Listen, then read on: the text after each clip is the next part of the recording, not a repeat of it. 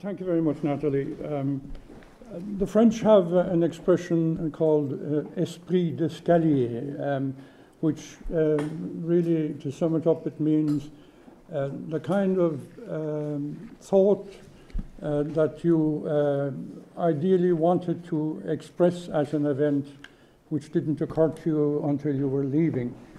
I think we could call framing the EU global strategy an esprit d'escalier in spades. Uh, it must be extremely interesting to read in view of what you have told us.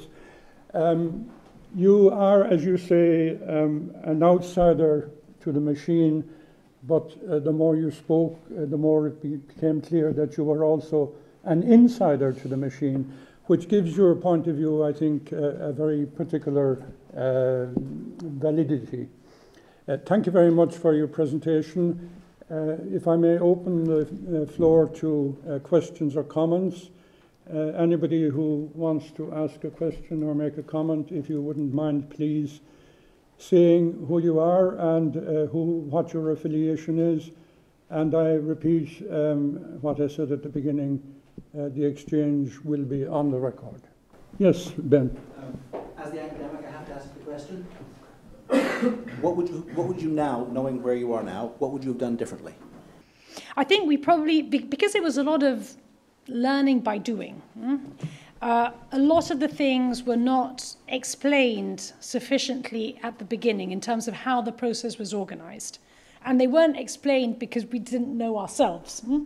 Uh, but if somehow one could rewind and already have that plan clear in your, your head, I think uh, it would have been useful, particularly when it comes to the member states, to explain to them um, why it was that we did things the way we did. Uh, and why we felt that, for instance, circulating a text too early would have actually damaged uh, the text itself. You know, the, the reason that we gave was half true and half not. Huh? The reason that we gave uh, officially was, uh, particularly in the last stretch, was, was because of the UK referendum campaign, and we don't want to interfere in it, and we don't want leaks to happen, and leaks happen anyway, uh, and we couldn't prevent uh, front page uh, headlines on the Sunday Times saying, uh, you know, top secret plans on a European army rubbish. Huh?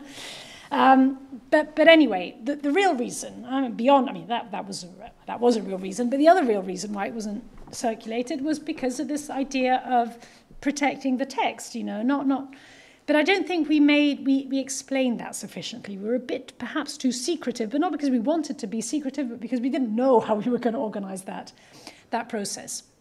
Um, on on content, if I think of how the world has changed uh, since the global strategy has come out, um, I think we uh, I think the emphasis and again, it goes back to this Trump point. I mean, the emphasis on multilateralism, global governance are there, and on the UN is there.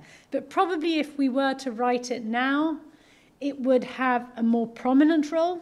Uh, and although already back then we made an effort at not only pointing to the United States as a core partner, but broadening out, uh, we probably would have broadened out a, even a bit more. Hmm? Um, you know, it, as a sort of other anecdote in, in all of this, um, I remember when, you know, I think it was February or March of, uh, of 2016, uh, when, when I was beginning to write the actual text uh, itself. Uh, and Federica said to me, you know, write that text and reread every sentence, thinking if it would still be relevant post Brexit, uh, if there were to be Brexit, and if there were to be the election of Donald Trump. And of course, she was half joking when she said it, huh? but, but I took her seriously. I did it. But probably in retrospect, after it happened, I think the language of multilateralism would have been even stronger. And this whole idea of the EU as a defender of multilateralism would have been even stronger. Thank you. Yes, Mark. Mark Millett, I really enjoyed your, your few words, and uh, I think what was really rich about it was the diversity that you brought to it in terms of your approach. But I, I, want to, I was wondering how important was leadership in the process, and was there ever a risk that the box would emasculate the strategy? Hmm. Um, I think that uh, we had to be as I said, you know, I think in terms of the actual skeleton, you know, so what are the priorities? I mean, all this came top down, hmm, to be in, in all honesty. Uh, I mean, I remember thinking about it in the summer uh, of 2015, and the work hadn't even started, and the, the table of contents was there, uh, and it didn't change, the order changed. I, I, my, my order started global, and then it went down back home uh, to security. Uh, and then, so, you know, obviously there were changes to the table of contents, but the, the, the content remained very top down. Uh, and I think that um, it, it wouldn't, you know, it goes back to this, this idea of, you know, there needs to be a clear organizing principle to something. Um, and, and, but then the flesh has to come from everyone else. Uh, and, uh, you know, as I said, you know, if you, I think if you solicit things in a, in a different way, in a slightly less conventional way, you get extremely interesting input coming from the box. because the box knows, you know, things that those outside the box can't know. So to me, the input that the outside the box people hmm, can give is on, on the broad brush organization of something, on the overall tone, on the discourse. But the nitty gritty detail can only come from the inside because the outside cannot know, which goes back to this idea of how much more could we learn from one another if there was more interaction. An interaction which goes beyond moments you know, like conferences, like meetings, like, uh, you know, I, I'm a big fan, for instance, of um, uh, you know, sort of having, you know, not just having secondments of, uh, um, you know, sort of uh, people from whatever, the UN into a national foreign ministry or the EAS, but having people from think tanks and academia as, not as interns, but seconded. You know, they're there doing their work, but for six months, actually understanding how that machine works, and vice versa. Uh, I think there's far too little of that, and um, I'm, I, I push very strongly, particularly when it comes to the EAS, there is such a new and therefore relatively unfossilized structure that can therefore do this far more than at times national foreign ministries that have been there for a long time. yes, Peter. Peter Gunning, member of the Institute. Um, would you care to say uh, how much UK actors, whether governmental or, or non governmental, were significant contributors um, to the exercise? and possibly even to go further than that and uh, speculate about uh, what would be, from the 27's point of view, the best form of relationship, given that, assuming that Brexit will take place, mm. between the EU and the UK, something sui generis perhaps. Mm. So on the UK's contribution, um, actually, United Kingdom was extremely constructive in this whole process, uh, and I, I considered it uh, an ally throughout.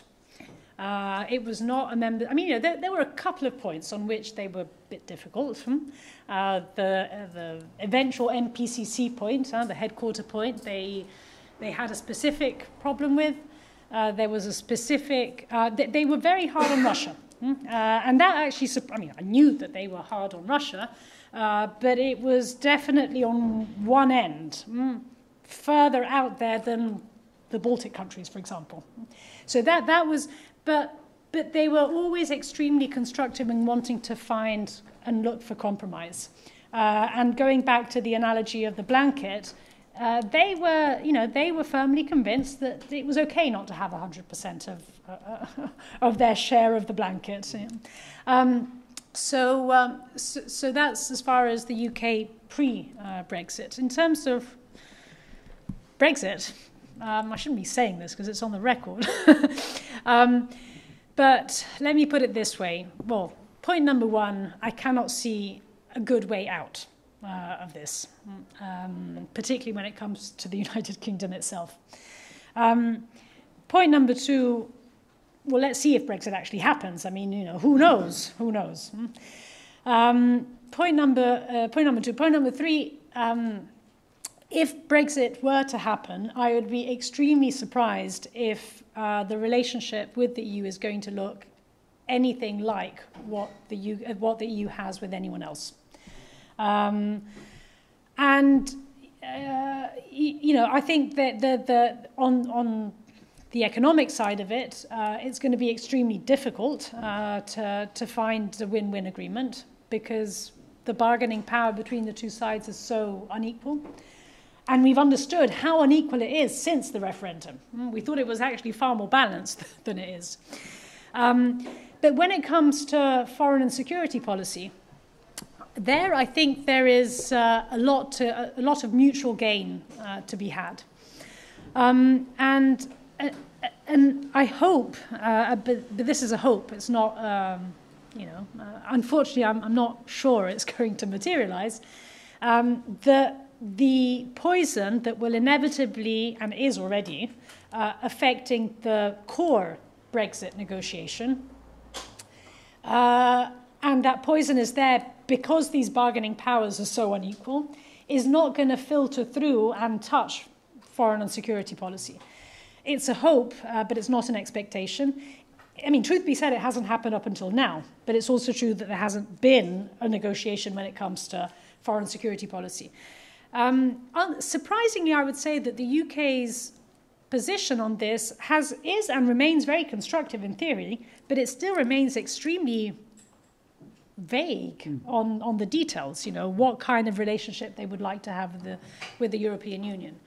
Um, but when it comes to CSDP traditionally understood, there I would say that, um, you know, there were plenty of very good ideas, particularly in the early 2000s, uh, before, therefore, you know, as the WEU was being shut down, CSDP was coming into being just before the Eastern enlargement, in which there was discussion, for example, about how to include the Norways and Turkeys in different forms of decision shaping but not decision making, meaning you sit around uh, the Political and Security Committee or, or, or the Council um, and you therefore listen and maybe even participate in the discussion, but you don't have a vote. But hey, no one votes anyway. Um, so it's as good almost as being there. I mean, I think all those very good ideas, which then back then never materialized because of Cyprus and all the rest of that story, um, could actually be dusted off the shelf today when it comes to the UK. So I think on, on CSDP, traditionally understood, it, I, I definitely see the scope uh, for, for a win win on this broader issue of what is it that European security and defense beyond CSDP is going to look like, there it's more complicated. And it's more complicated because we don't quite know what the security and defense union is actually going to be in practice. I mean, we know the different bits that are being put in place, but exactly what shape all that's going to have in two, three, four, I mean, who knows how long this transition is going to uh, last, but, you know, probably quite some time so it's difficult to imagine the relationship on that bit uh, because it's difficult. I mean, it's difficult today to really understand where we as Europeans are going to be in that part of the story. Uh, Horst? I'm Horst Sietschlag, member of the Institute.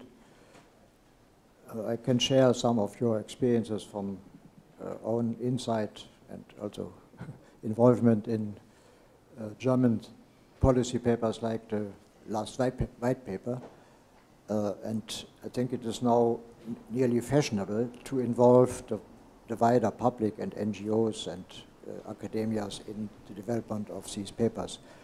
Uh, but I still think uh, the success of your paper is even more commendable because it is multinational and uh, it is uh, also in a very critical time.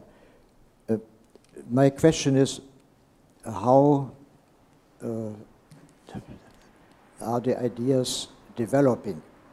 For example, I noticed in the white paper, the German white paper, and in the global security, there's a new term, very fashionable, resilience. It's a kind of cross-fertilization, I think, discussions everywhere, and resilience uh, not only uh, ready to observe shocks from outside, uh, but resilience also in view of partners. Uh, and you mentioned the issue of interests and values.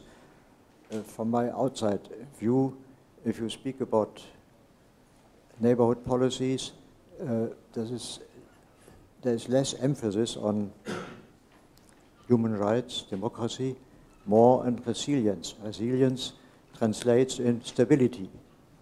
More interest of the EU in stability of the neighborhood instead of transformation as it was in the past. Do I see it correctly that this is a policy decision? And the, the second question is top-down approach. Uh, was there any enforcement from top-down to use the term strategic autonomy? Ah. Thank you. Okay. Um, so very briefly on the um, on the German uh, story, actually, um, and I forgot to mention this. Uh, not so much the White Book, that indeed was a parallel process to the global strategy, but the previous, the 2014 German review, was incredible inspiration.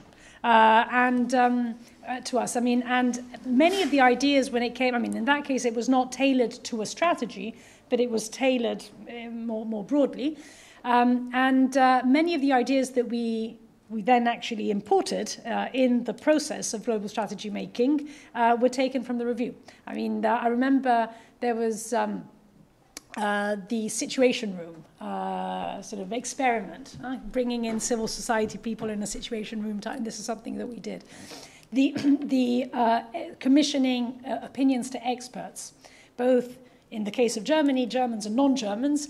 In the case of the EU, EU and non-EU is again something that, that we did. So we, that was that was incredible inspiration. Um, so on the question of, uh, resilience, no, I would not uh, look at it as stability. Uh, I would look at it as so. Resilience. What does it mean? Uh, resilient. If you look it up on a dictionary, uh, and the generally you get various definitions, but a lot of it tends to then boil down to a condition that metals have. And metals are resilient when they bend without breaking. But they bend, they change. So it's, to me, resilience is a dynamic concept. So in that respect, it's not stability if uh, stability is understood as something static.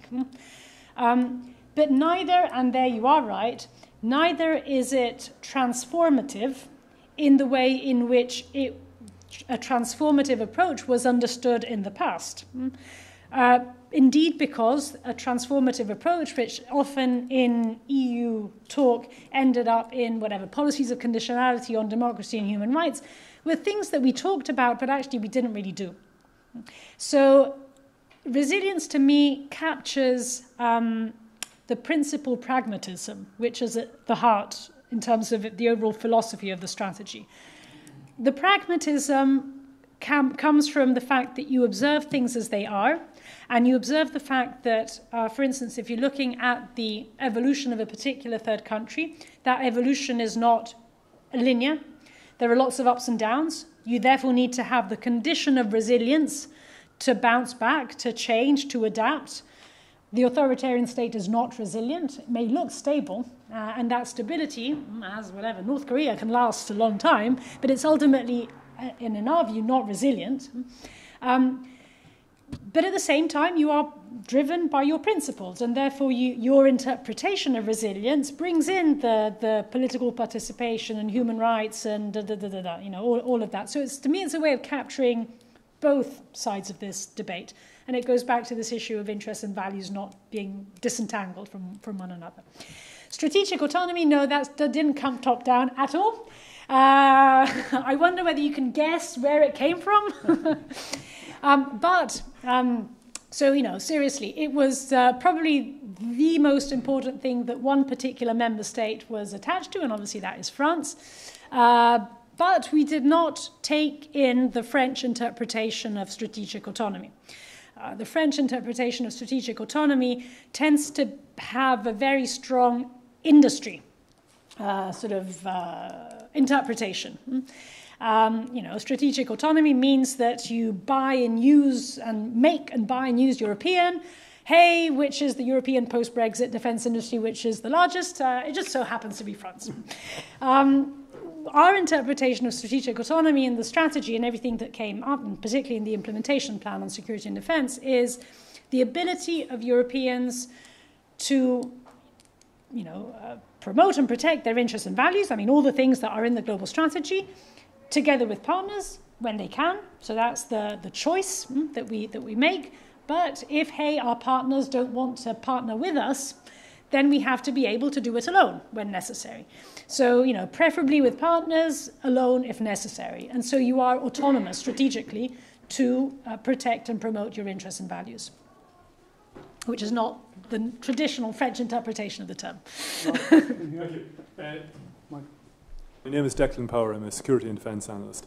And my question is a small country like Ireland, when it comes to demystifying issues to do with European defence, that's quite an important factor here in terms of uh, the stewardship of public opinion. Oftentimes, small special interest groups would take some of the points that you made today and would distort them in such a way as to very much spook the populace. And if we needed proof of that, uh, some of the previous referendums that we've seen here and how they had to be run again were because of those kinds of things. So you've been telling us about how practitioners, bureaucrats, academics, uh, think tanks in particular, if I'm taking you correctly, uh, have a big role in distributing the information out in a useful way. Is there anything else, any other advice that you would have on how to bring the message in a way to influence the general public about the benefits of what uh, European defence can do, Mm, mm. particularly in terms of multilateralism Mm. uh, and other things that are no-brainers, I think, for most people. Mm. Thanks. I I have may- maybe to kind of um, add on to that a bit. Um, You you seemed to be um, a tad optimistic about the prospects of um, success of this um, venture um, uh, in in in the shorter rather than the longer term. Um, I see a number of complications. Uh, I mean, you you have described yourself the problems that arose for you from uh, straddling the Commission and the, uh, the Member States. Uh, that is an unresolved uh, issue, but above all, I would like to join in what uh, Declan Collar has said. There is a very big job to be done in the formation of public opinion. Um, I, you know, even when it comes to uh, Germany, um, um, at the height of the concern with what um, Donald Trump had been doing, um, Angela Merkel went no further than saying, it may be that time has come for us to think of doing something for ourselves somewhat, you know. It was a very qualified kind of um, uh, reaction and a very understandable reaction. But uh, you know, that is the reaction of the uh, head of government of the most important member state.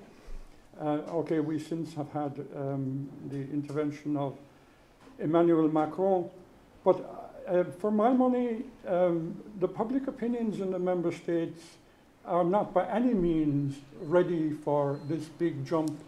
And so, what do you see uh, in the shape of um, uh, arriving at that situation because we need that. You know, we have to get the support of our electorates for what we do. Um, okay, so I'll first actually answer this because then that leads me to, to answering your question, Declan. Um, so, okay, I think one, one observation is that actually this is an easier sell than integration in other policy areas. It's all relative in life.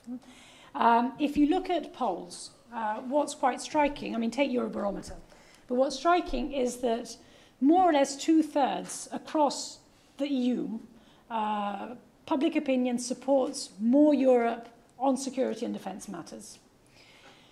The reason why they do, of course, differs widely from one member state to the other, but it's, I think, far easier to sell more Europe on foreign and security policy, including defence, than on economic integration, particularly whatever, if you go and have a conversation in Italy about this, uh, or migration, you know, I mean, on, on other policy areas.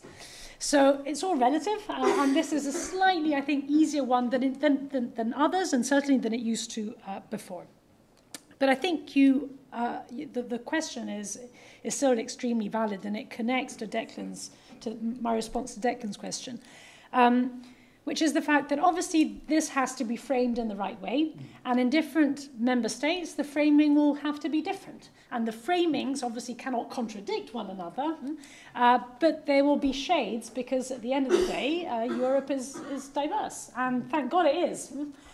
So, what are the elements of a narrative that could work, for instance, in a member state like Ireland? Um, and, and to me, there are, you know, particularly when it comes to this defence bit, hmm, and we were having a bit of this conversation over, over lunch. Um, I think there are two, two elements. Element number one is this is all about an integrated, comprehensive approach. Hmm? Uh, and it's not as if the European Union is going to be doing less of diplomacy and development uh, and energy and migration and research and infrastructure and dun dun dun dun. Um, that will still be there, and in fact, we have to do more of that as well. But we cannot deny that defence, particularly when it comes to the EU context, uh, was, was the sort of, um, you know, ugly duckling. Uh, and it has been the ugly duckling since 1954. uh, and if we can all accept, and I think across the EU, EU we can all accept the fact that majorities, uh, you will always have uh, minorities everywhere, but that the defence bit is an element. Hmm? It may not be, and it isn't, the main element uh, to fix problems, but it is an element uh, to them. Uh, and therefore, if we, if we recognize this and we recognize that this is the bit that we are weakest on, then surely we can, we can present a narrative to citizens that is, that, that is compelling. Coupled to it, um, I think the European conversation about defense is not the NATO conversation about defense. It is not about spending more on defense. That's the NATO conversation, and it regards 22 EU member states, but it's the NATO conversation. The EU conversation about defence is about spending together. And again, I think that's something that citizens can understand. I mean, citizens can understand that actually we spend a lot of money on defence. We spend 250 billion a year on defence collectively. We waste between 25 and 100 billion a year of that money. So surely there is a strong logic and, and a compelling narrative, a simple narrative, to sell to citizens about how defence cooperation is actually in the interests of, uh, uh, of the public. Um, so that's, uh, uh, that's, that, that, that's sort of the answer to the, to the narrative uh, question. Um, in terms of, you know, the question of, you know, but what about, what about the divisions? I mean, of, of course, they, they're there and they, they are still uh, there can, can all of the, you know, the, this alignment of the stars that, that I've been mentioning, is it sufficient to overcome those divisions? And of course, I don't have an answer to that question. I mean, all I can say is that this alignment has never been there. So if there is a chance, it is now. Uh, but we will have to wait and see whether it's uh, sufficient. Um, but what makes me hopeful uh, that at least there is a possibility is not so much that I see and I don't see a convergence of whatever threat perceptions in Europe, a convergence of strategic cultures in Europe. No, I don't see that. Hmm? Uh, I think threat perceptions will always differ uh, in Europe because uh, we are where we are in geography and that doesn't change. Strategic cultures are a product of political systems, of history, of, I mean, of so many things that, again, those, I mean, I, I cannot imagine the Irish and the French strategic concepts ever to become fully uh, convergent and one and the same. But does it, uh, is that an insurmountable obstacle? And to that, I would say, no, it's not. Uh, there is a prerequisite uh, to overcoming that obstacle, you know, the obstacle of the divisions and the differences. And I think it boils down to one word, and it's solidarity.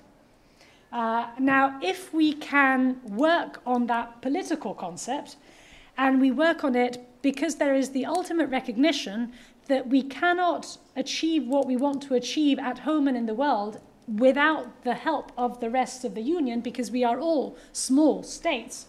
And small states know this, bigger states are realizing this. Mm? Uh, my my uh, last anecdote from the work on the global strategy was when I inserted a sentence in the text uh, that read as a union of, well, first it read 28, and then I just took out the number, um, but as a union of small to medium sized uh, member states, da da da da. Hmm?